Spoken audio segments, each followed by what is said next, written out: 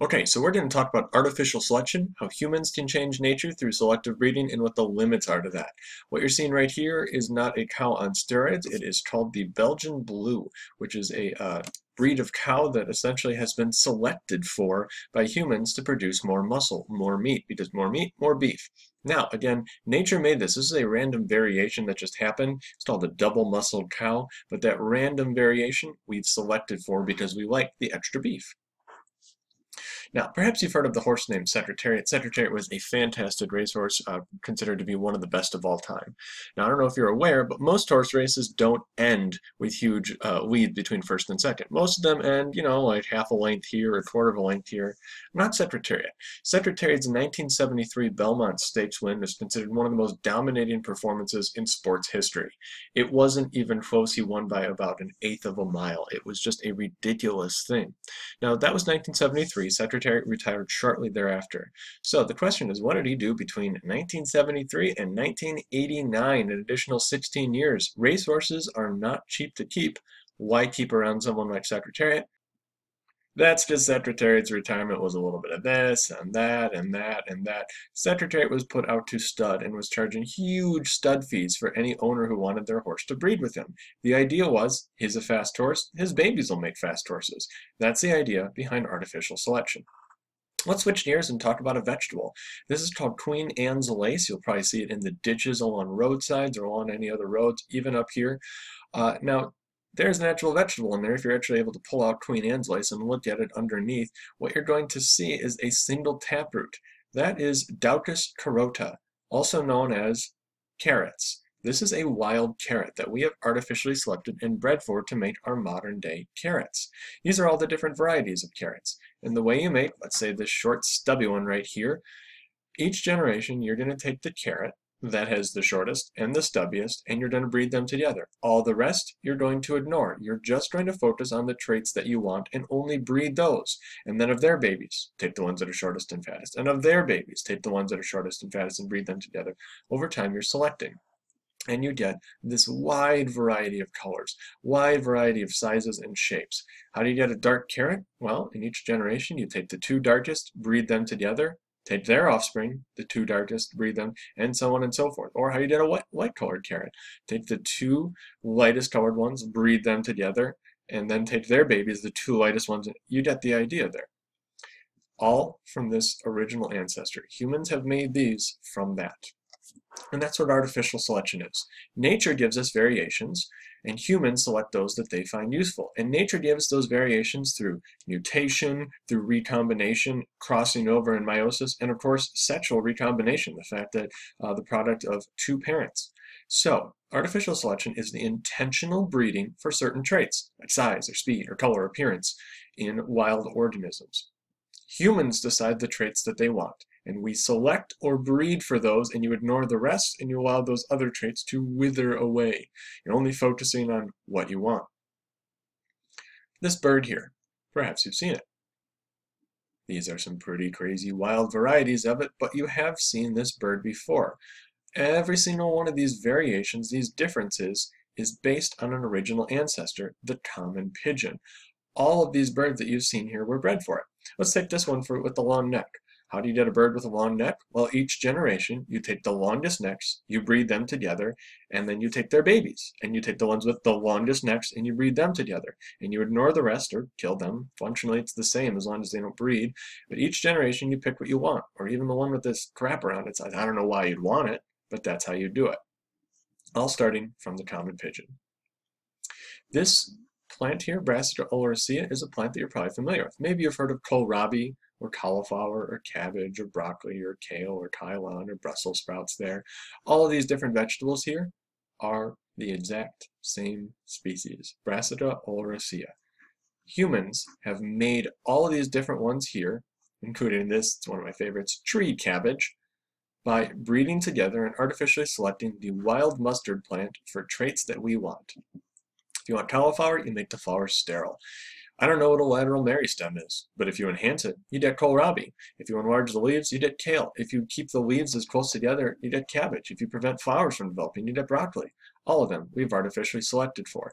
This here is an entire field made out of the exact same species, Brassica oleracea. all into these. Even cauliflower, there's orange and purple and green and obviously the white cauliflower, but these are natural variations that humans selected for over time. A natural mutation, we kept breeding together those that had what we wanted. This right here is the wild banana. You're probably familiar with the regular banana. These are different because we've artificially selected for what?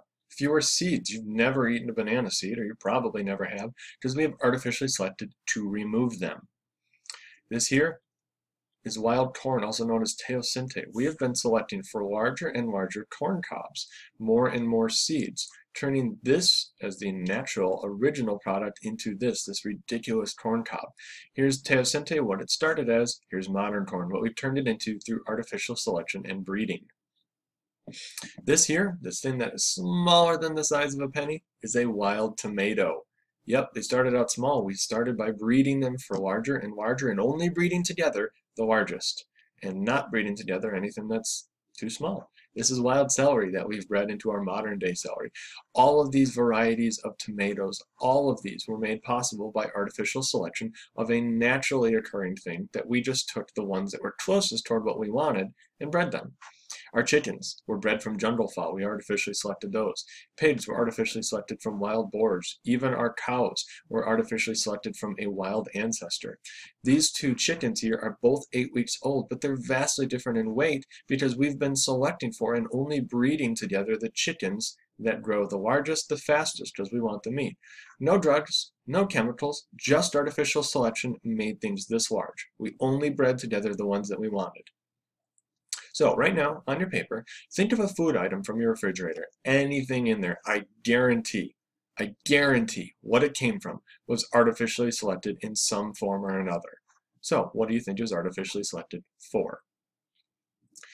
Now, this has happened over time quite a bit. This is the gray wolf, Canis lupus. This is a modern day wolf, but we're talking from an ancestral wolf we have bred these adorable little puffballs known as Pomeranians or Siberian Huskies, which are very similar, or Chihuahuas, which you get by breeding together only the smallest dogs, or you get something like a French Poodle, or something like the Irish Wolfhound, which they use for hunting bears, by only breeding together the largest ones. You didn't even breed for behavior and did something like the Collie, which is uh, fantastic for working with humans. Very, very intelligent creatures. All of them came from a wolf ancestor. That's how we get all of these things. Here's modern wolves, here's wolf ancestor. This all happened probably within the last 10 to 20,000 years, maybe even less. It's a very short time frame turned that into the little puffball Pomeranians or Chihuahuas that you see. All these dog breeds came from there. The Chihuahua and the Great Dane are actually the exact same species. They just have clearly been selected for different traits over time. The St. Bernard and the Pug, same species, still related to the ancient wolf, could actually breed with the ancient wolf if it, the wolf would manage to not kill that one. All of them came from the wolf ancestor. We artificially selected for different traits. That's the common ancestor. Now, you can see right here, this is a purebred St. Bernard from 1850. Look at the difference in its nose in only 117 years of artificial selection. We've turned that into this in less time than you might think. That's not that long to get between there. The Bull Terrier, which you've probably seen before. Here's what their stalls looked like in 1931 to 1950 to modern day stalls. That is only 45 years of artificial selection. Only 45 years. That is someone's lifetime. They could say, back in my day, the, the Bull Terrier didn't look like that. And they would actually be right and might not even be that old. That's a short time frame. The Newfoundland, over time, its stall has drastically changed. We've been selecting for that almost like large Neanderthal-like forehead. That's only 45 years. Turned that into this. Now, the danger of this is that you're only selecting for a certain trait and you're ignoring the overall health. This one here, this um, Belgian blue cow that I showed you at the top, that can't give birth naturally. That double muscle essentially has made the back end so big that the birth canal is too small for that, well obviously not full grown one, but for that to go through. They're just too much muscles. The only way they can give birth is not passing something back through the birth canal there, but through cesarean section. They're too big. So we ignored the animal's overall health in our pursuit of more and more meat. The English Bulldog, another one of those dog breeds there, because we've selected for a very large head, they almost all have to be born via C-section. We've only focused on big head. And here you can see a pregnant uh, English Bulldog with that massive skull too big for those puppies to go through. They had to artificially select for that. This right here is the English Bulldog skull in only 45 years. Turned this into that, that massive underbite, because that's what people wanted, that look there. They wanted that underbite, and they bred for that, and they ignored the rest of the health of it. In only 100 years of dog breeding, it's caused all these differences here. There's no such thing as a healthy bulldog. The bull terrier, you can see what it used to look like versus what it looks like now. They have so many different problems as a result of this intense inbreeding. The Basset Hound, perhaps you're familiar with that one, that one has a lot of problems due to this extra skin. Take a look at this animal as it runs. All that extra skin is even covering it up. But you can see the difference between then versus now. The Dachshund, with the little wiener dog there, over time we've selected for skinnier and skinnier ones. That causes a lot of problems. Has the highest risk of any breed for disc disease, resulting in paralysis. The boxer, a lot of problems there, shorter face, a lot of breathing, one of the highest cancer rates in dogs. Again, we've only focused on some things and we ignored their overall health. The St. Bernard, everyone thinks is a working dog. They can't. They've got too much skin, too much fur. They would overheat doing actual work, even though they used to, because we've been selecting for some traits, ignoring their overall health. And the problem is, going back to Secretariat at the beginning, we've been selecting for faster and faster horses. This has meant thinner and thinner bones, and those bones are breaking, and that causes problems. If you don't want to see a graphic image, look away now. Here you can see an actual leg in the process of breaking, an animal trying to go on it. All right, the image is gone.